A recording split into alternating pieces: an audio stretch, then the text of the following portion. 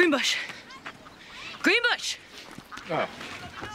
This fucking Skinner just puts me in a weird space, you know? Yeah. Yeah, listen. I know you lost the trophy after three years. I know that's hard for you. You don't have to apologize for your feelings, not to me. What, you just come here to gloat? No, I didn't. I came here to ask for your help. Yeah, fat shit, you fucking cheating douche, whore, bitch, slut. Listen to me. I will surrender the trophy to you. If you just get off your ass, get on that field, do your thing, and be a goddamn hero. What do you say?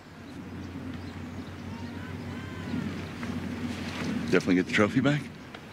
It'll be like you never lost it. Get it done.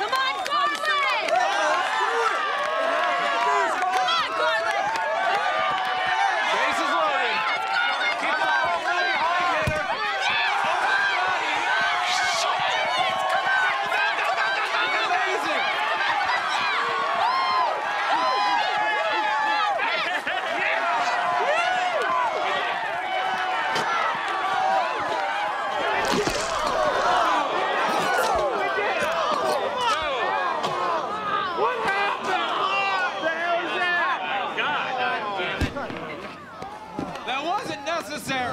God